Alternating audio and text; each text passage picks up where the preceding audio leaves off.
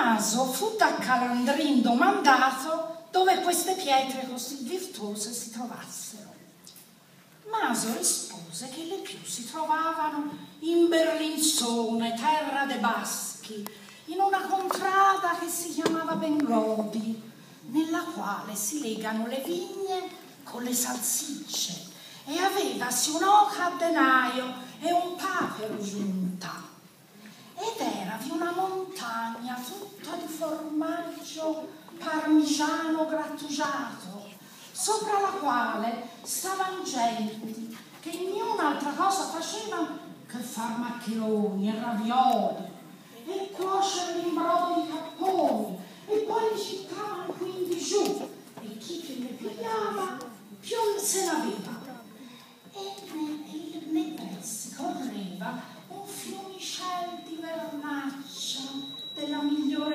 Beve, senza aver dentro gocciola d'acqua.